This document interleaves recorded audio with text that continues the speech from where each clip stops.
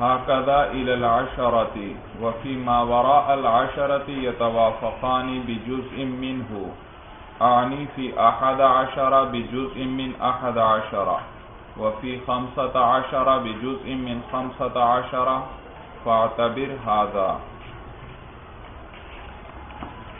اعداد کے درمیان نسبتوں کو ہم پڑھ رہے تھے آپ نے پڑھا کہ دو عددوں کے درمیان چار قسم کی نسبتیں ہو سکتی ہیں۔ یا تماسل ہوگا یا تداخل یا توافق یا تباین بھائی تماسل یہ ہے کہ دونوں عدد ایک دوسرے کے مثل ہوں، ایک جیسے ہوں یعنی ایک ہی عدد ہو دونوں طرف بھائی۔ اور اگر ایک جیسے عدد نہیں ہے تو پھر ایک عدد یقیناً بڑا ہوگا، ایک عدد چھوٹا ہوگا۔ تو اگر چھوٹے عدد سے بڑا عدد پورا پورا تقسیم ہو جائے تو یہ کیا کہلاتا ہے؟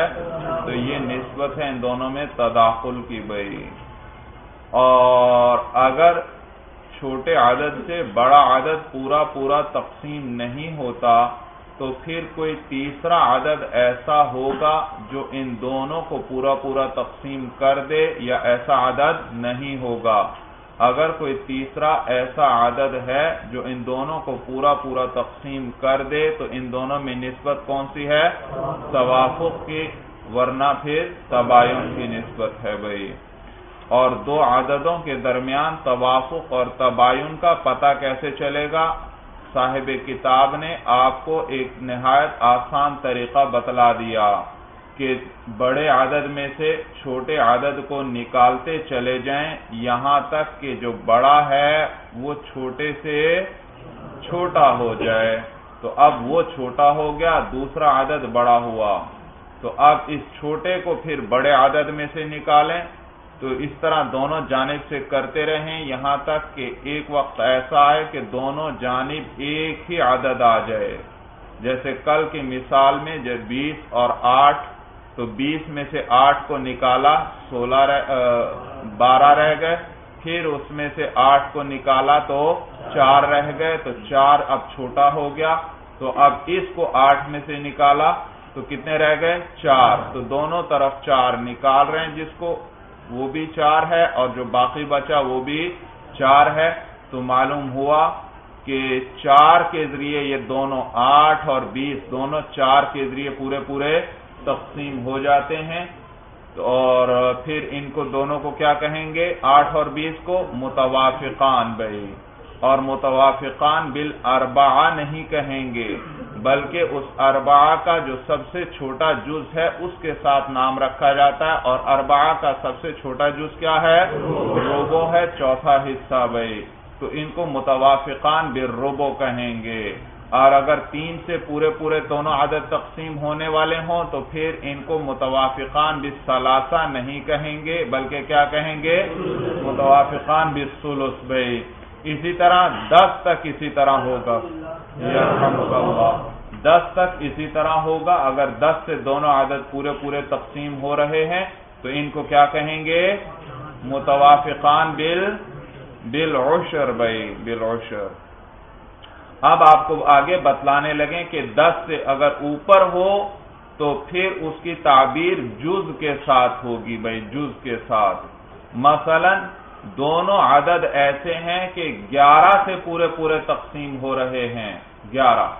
اب گیارہ کا سب سے چھوٹا حصہ کیا ہے؟ ایک ایک گیارہ کا کتنا بنتا ہے؟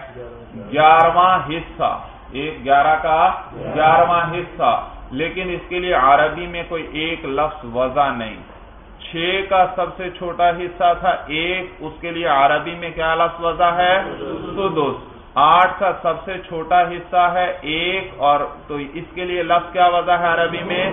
سومن لیکن جو آگے مرکبات شروع ہو رہے ہیں، ان میں سے گیارہواں حصہ اس کے لیے عربی میں کوئی لفظ وضع نہیں، تو اس کے لیے جز کا لفظ استعمال کریں گے بھائی۔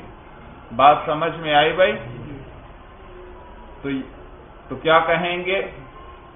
مثلا گیارہ کے ساتھ دونوں عدد تقسیم ہو رہے ہیں تو کیا کہیں گے؟ متوافقانی بے جز من احد عشرہ بجز من احد عشرہ یعنی احد عشرہ کے سب سے چھوٹے جز کے ساتھ۔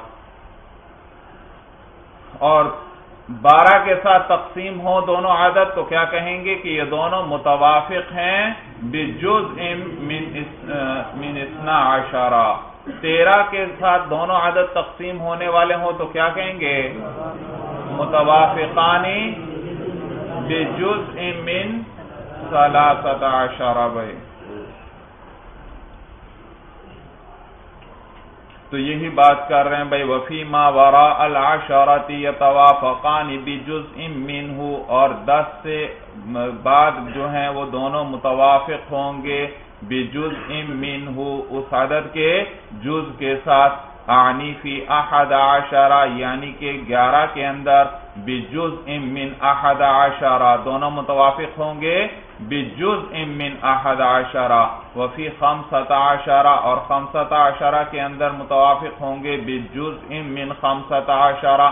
فاعتبر هذا، پس اعتبار کرنا اس کا، اعتبار کرنا اسی کا جو ہم نے آپ کے سامنے تفصیل بیان کی۔ یعنی اسی پر قیاس کرتے ہوئے آپ باقی کا پتہ لگا سکتے ہیں بھائی۔ سمجھ میں آیا بھائی؟ گیارہ میں کا گیارہواں حصہ اس کے لیے کوئی لفظ نہیں ہے بھائی۔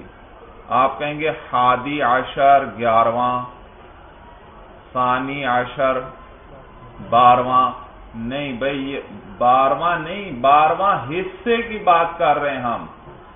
ہادی عشر کا معنی تو ہے گیارہواں۔ یعنی گیارہویں نمبر پر جو آئے بھائی، گیارہویں درجے پر ہو۔ یہ اسی طرح جیسے ستا سے چھٹے نمبر پر جو آئے اسے کیا کہتے ہیں؟ سادس. سادس کا معنی چھٹے نمبر پر جو ہے۔ اور ہم تو کہہ رہے ہیں چھٹا حصہ، اس کو کیا کہتے ہیں؟ سدس کہتے ہیں، اس کا چھٹے حصے کا الگ نام ہے اور چھٹے نمبر پر جو ہے، اس کا الگ نام ہے۔ تو ہادی عشر کا معنی ہے گیارہویں نمبر والا بھائی۔ ہم گیارہویں نمبر کی بات نہیں کر رہے، گیارہویں حصے کی بات کر رہے ہیں، اس کے لیے کوئی لفظ نہیں ہے بھائی، ایک۔ جی یہاں تک سبق سمجھ میں آ گیا بھائی۔